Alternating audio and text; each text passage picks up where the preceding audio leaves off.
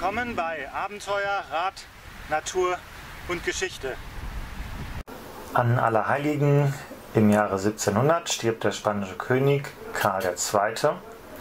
im Alter von 38 Jahren kinderlos, so dass der spanische Thron unbesetzt ist und es verstehen, entstehen nun verschiedene Erbansprüche und zwar einmal über die ältere Schwester von Karl II., die mit dem französischen Könighaus verheiratet ist. Auf der anderen Seite ist die jüngere Schwester von Karl II.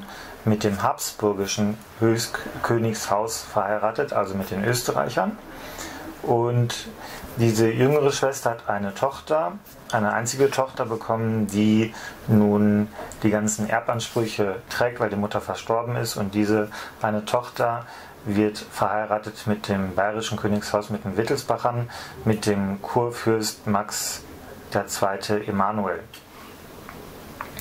Und so haben wir verschiedene Herrschafts- äh, und Erbansprüche auf den spanischen Thron. Einmal von dem französischen Könighaus, auf der anderen Seite von dem österreichischen, österreichischen Königshaus und als drittes von den Bayern. Dann gibt es noch als vierte Fraktion äh, die Savoyen, aber die spielen hier nicht so eine große Rolle.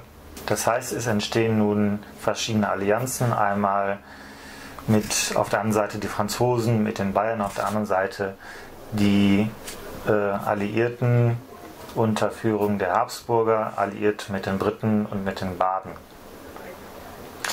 Diese Armeen ziehen nun langsam aufeinander zu und verwickeln sich in verschiedene Schlachten überall in Europa, unter anderem auch in Donauwörth in der Schlacht am Schellenberg vom 2. Juli 1704.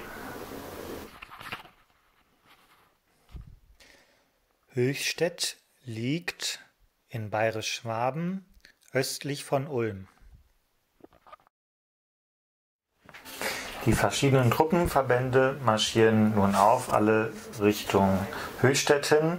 Da sind zum einen die französische Armee auf der einen Rheinseite unter dem Marschall Talat, die über den Rhein überqueren wollen, aber dort steht Prinz Eugen und hindert sie an diesem Übergang über den Rhein.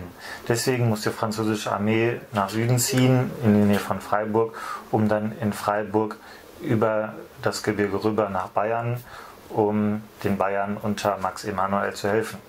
Denn in Bayern steht Max Emanuel mit seinen Truppen, muss verschiedene Städte verteidigen, zum Beispiel Ingolstadt, Augsburg, Ulm und weitere.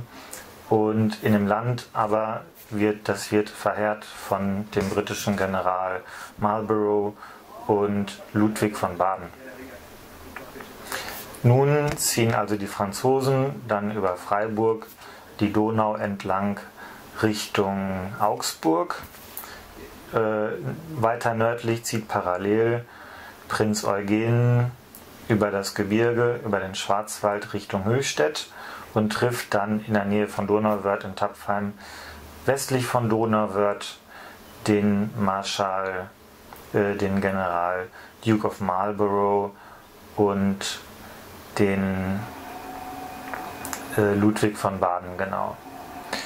Das heißt, die Truppen konzentrieren sich dort und treffen dort in Höchstädt, nördlich von Höchstädt am Nebelbach, aufeinander. Und hier beginnt dann die Schlacht von Höchstädt. Der Nebelbach, ein kleiner Bach, der aus ein paar Bergen nördlich der Donau, entspringend bei Lutzing ungefähr, Schwäbischen Alb fließt und die Donau reinfließt, war früher, vor ein paar hundert Jahren, noch ein ziemlich sumpfiges Gebiet und nicht so schön kanalisiert wie heute. Wir stehen hier am Nebelbach, der die Schlachtlinie bildete, der Schlacht von Neustadt, direkt vor dem Ort Glauheim, Oberglauheim. Ich stehe jetzt hier an der Straße nach Lutzing und ich stehe hier an diesem Ort, wo vor einigen hundert Jahren die Schlacht von Höchstädt, in Englisch The Battle of Blenheim, stattgefunden hat. Und dazu wollen wir uns heute mal das Schlachtfeld angucken. Hinter mir ist ein Hof, der liegt im Nordwesten des Schlachtfeldes und Der liegt auch auf der Nordseite des Flusses Nebel bzw. dem Nebelbach, der gleichzeitig die Frontlinie des Schlachtfeldes bildet. Hier also im Nordosten des Nebelbaches die alliierten Truppen, im Südwesten die Franzosen. Das heißt, ober mir, oberhalb der Hof, das war eine Art Kommandozentrum eines Teiles der alliierten Truppen unter dem General Duke of Marlborough. Hinter mir sieht man dann die Berge, einen Bergkamm, der nach Norden hin das Schlachtfeld begrenzt, mit ein paar Dörfern, die ebenfalls von den Alliierten besetzt gewesen sind. Hinter mir dann die Straße nach Lutzing. Lutzing andererseits war von den Franzosen und Bayern besetzt. Diese Felder bildeten nun das Schlachtfeld. Im Norden also die alliierten Truppen, im Nordosten, im Südwesten die Franzosen. Das heißt, diese weite Ebene nördlich der Donau bildet ein gutes Terrain für das Schlachtfeld. Die Schlacht von Blindheim beginnt mit einem Angriff Marlboroughs auf Blindheim selbst. Talat zieht Truppen vom zwei Kilometer langen Frontabschnitt bis Oberglauheim ab und positioniert sie in Blindheim. Marlborough jedoch konzentriert nun seine Kräfte in der Mitte der Schlachtlinie. Am 13. August 1704 um 12.30 Uhr griffen die alliierten Truppen nördlich des Nebelbaches die Front bestehend aus Franzosen und Bayern an, die sich auf einer Linie von Lutzheim dort hinter mir über Glauheim bis Blindheim verschanzt haben. Hier fließt der Nebelbach Richtung Blindheim, das um diese Zeit vom General Marlborough angegriffen wird und eingekesselt wird. Und dieser Nebelbach ist ungefähr sieben Kilometer lang. Das heißt, die Schlachtlinie ist auch ungefähr sieben Kilometer lang gewesen. Das heißt, eine sehr lange Schlachtlinie. General Marlborough ist ein Meister der kombinierten Taktik, die Kavallerie als Offensivkraft einzusetzen und die Infanterie als Defensivkraft. In verschiedenen Wellen greift die Kavallerie Talats Armee an. Dieser entgegnet mit seiner Kavallerie, die jedoch vor der alliierten Infanterie gestoppt wird. Prinz Eugen im Nordwesten startet vergeblich eine Attacke auf die Truppen von Max Emanuel. Am 13. August 1704 um 14.30 Uhr stehen wir hier nördlich des Nebelbaches zwischen Schwenningen und Oberglauheim, dort wo sich die alliierten Truppen versammelt haben und hart gegen die Franzosen kämpfen. Bei ein paar Attacken um Lutzingen, welches in die Richtung liegt, Richtung Nordwesten, äh, haben die Alliierten angegriffen. Daraufhin haben die Franzosen Bayern hier um Glauheim, westlich und östlich von Glauheim, ein paar Konterattacken geschlagen. Die sind vorgedrungen bis zum Nebelbach und haben, setzen hier den alliierten Streitkräften stark zu. Hier sind wir, stehen wir quasi direkt in der Mitte der Schlachtlinie und genau in der Mitte droht ein Durchbruch der Franzosen.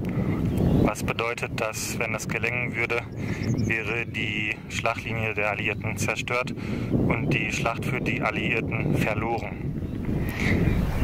Die Alliierten unter Marlborough und Prinz Eugen, vor allen Dingen stationiert dort oben in Schwenningen und weiter die Berge hoch in der Nähe von Lutzing. Dort werden auch noch zahlreiche Attacken gestartet. Doch der Kernpunkt der Schlacht befindet sich hier am Nebelbach bei Oberglauheim. Die rechte Flanke von Marlboroughs Kavallerie liegt nun direkt neben Oberglauheim und nimmt heftigen Flankenbeschuss. Mazins Kavallerie holt zum Gegenschlag aus und gelangt bis zum zweiten Infanterietreffen der Alliierten.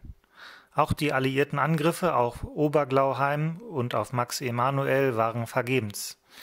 Doch Marlborough verhindert das Zerbrechen seiner Reihen durch das Vorrücken seiner Infanterie. Die Schlacht von Höchstädt, was bisher geschah. Nördlich des Nebelbaches stehen die Alliierten, südlich davon hier in, in Oberglauheim. Auf dem Goldberg stehen die Franzosen und die Bayern.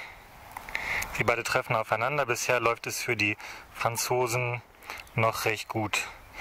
Denn sie können die alliierten Angriffe zurückwerfen. Sie können sogar eine Gegenattacke starten. Die Attacken von Prinz Eugen im Norden auf Lutzing schlagen fehl und hier östlich und westlich von Oberglauheim starten die Franzosen eine Gegenattacke, die sehr hart ist. Ihre Kavallerie reitet über den Nebelbach und trifft auf die alliierte Infanterie, die sie aber die französische Kavallerie zurückschlagen kann. Es gibt einen Angriff, einen zweiten Angriff auf Unterglauheim, der allerdings auch zurückgeschlagen wird. Bisher sieht es also recht gut aus für die Franzosen, denn die alliierte Schlachtlinie unter dem Kommandant General Churchill, Duke of Marlborough, droht zu zerbrechen. Dieses sieht der General kommen und startet eine Attacke über den Nebelbach direkt vor mir. Seine Infanterietruppen schreiten über den Nebelbach, hier den Goldberg hinauf und attackieren die Linien der Franzosen. In einer Gegenbewegung starten die Franzosen ihre Kavallerie, die die Infanterie wieder weit zurückwirft über den Nebelbach und erst vor der zweiten Reihe der alliierten Infanterie zum Stehen kommt und wieder zurückweicht, da die französische Kavallerie sehr erschöpft ist. Nun werden die Reihen der Franzosen aufgefüllt mit äh, frisch rekrutierten Soldaten, die noch nicht sehr viel Erfahrung haben. Die Reihen dünnen sich also sehr aus. Dies weiß General Marlborough zu nutzen und in einem Gegenschlag legt er seine ganzen Kräfte hier an diese Stelle und seine Truppen marschieren aus dem Sumpf am Nebelbach hier den Goldberg hinauf, sichern das andere Ufer, sodass auch Kanonen rübergezogen werden und sie die Stellung hier südlich des Nebelbaches ausbauen können. Nun ist bei den französischen Generälen Talard und Massin, Massin, der hier in Oberglaum stationiert ist, großes äh, Entsetzen. Talat sah den alliierten Angriff kommen, doch seine Kavallerie konnte nicht viel ausrichten. Die ausgedünnten Infanteriereihen waren gerade in der Lage, die alliierte Kavallerie aufzuhalten. Doch unter dem Druck sich verstärkender alliierter Truppen zerbrach dann die französische Linie zwischen Oberglauheim und Blindheim. 13. August 1704, 16 Uhr, Oberglauheim. Hier auf dem Goldberg sieht der französische General Massin, dass seine Linien nicht mehr standhalten, dem Druck der alliierten Schlachtlinien, die hier immer weiter von Norden her vorrücken und sieht, dass seine Reihen brechen. Die alliierten Truppen unter General Churchill, Duke of Marlborough, brechen durch. Die Franzosen können ihre Linie nicht mehr halten und immer mehr Franzosen fangen an, die Linien fast zu verlassen und sich in die Dörfer zurückzuziehen. Unter dem Druck der massiven alliierten Kavallerieattacken zerbricht die französische Linie. Für eine Evakuierung der Infanterie aus Blindheim ist es zu spät, sie werden eingekesselt. Der Rest zieht sich nach Höchstädt zurück. So, wir stehen jetzt hier nördlich von Blindheim, dort wo die Schlacht von Blindheim auch geendet hat. Hier ganz in der Nähe von mir, ich drehe mich mal, durchfliegt die Bundesstraße das Schlachtfeld. Wie ist das alles nun ausgegangen? In Lutzing hat Äh, war ja Max Emanuel, die äh, kaiserliche Kavallerie unter Prinz Eugen tapfer zurückgeschlagen. Durch den Durchbruch von den Alliierten bei Oberglauheim ist es so, dass nun Max Emanuel Nutzing eine offene Flanke hat und Max Emanuel sich mit General Massin in Oberglauheim zurückziehen muss, da wie gesagt die Flanke offen ist, da es einen Durchbruch gibt. Die Armee von General Talat, die den Goldberg bewacht haben zwischen Oberglauheim und Blindheim, ist zertrümmert und zerschlagen. Das ist quasi oben bei mir in der Gruppe. Von der Armee, von diesem Teil der Armee existiert nichts mehr. Dort fliehen die Franzosen unter von Talat bis nach Röstedt. Bis nach Röstedt werden sie auch noch von Churchill und seinen Soldaten ähm, weiterverfolgt. Nur das einzigste Dorf, was hier noch Widerstand leistet, ist Blindheim. In Blindheim haben sich 11.000 Franzosen ver verschanzt. Blindheim ist eigentlich sehr klein, das heißt, das Dorf ist proppenvoll mit französischen Soldaten. Und Blindheim ist nun eingeschlossen von der Kavallerie und den Truppen von Kommandeur Katz der alliierten Streitkräfte. Und dieser eröffnet Artilleriefeuer auf das Dorf so dass sich auch dort die Franzosen sehr schnell ergeben müssen. Und damit ist die Schlacht von Blindheim zu Ende. The Battle of Blenheim, ein Gedicht von Robert Southey. It was a summer evening, old Caspar's work was done, and he before his cottage door was sitting in the sun, and by him sported on the green his little grandchild Wilhelmine. She saw her brother Peterkin roll something large and round, which he besides the rivulet in playing there had found. He came to ask what he had found that was so large and smooth and round. So Caspar took it from the boy, who stood expectant by, and then the old man shook his head, and with a natural sight "'Tis some poor fellow's skull," he said, "who fell in the great victory. I find them in the garden, for there are many here about, and often when I go to plough, the ploughshare turns them out. For many thousand men, he said, were slain in that great victory. Now he tells us what it was all about. Young Peterkin, he cries and little Wilhelmine looks up with wonder-waiting eyes. Now tell us all about the war and what they fought each other for. It was the English, Caspar cried, who put the French to rout. But what they fought each other for, I could not well make out. But everybody said, he quote, that was a famous victory. My father lived at Blenheim then, your little stream hard by. They burned his dwelling to the ground, and he was forced to fly. So with his wife and child he fled, nor had he where to rest his head. With fire and sword the country round was wasted far and wide, and many children mother then and newborn babies died. But everything like that you know must be at every famous victory. They say it was a shocking sight after the field was won, for many thousand bodies here lay rotting in the sun.